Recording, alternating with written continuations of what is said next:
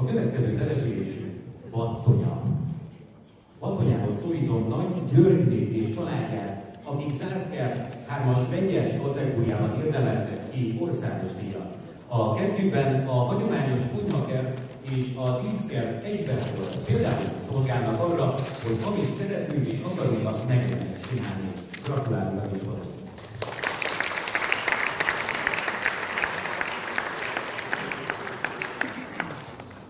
Fölkérem Orsadiné, Adler Erikát és Új Szilviát vegyék át a koordinátori munkájukért az elismerést, valamint Orsadi János alpolgármester urat. Vegye át Battonya város önkormányzata, mint csatlakozó szervezetnek és koordinátori munkájának járó elismerését.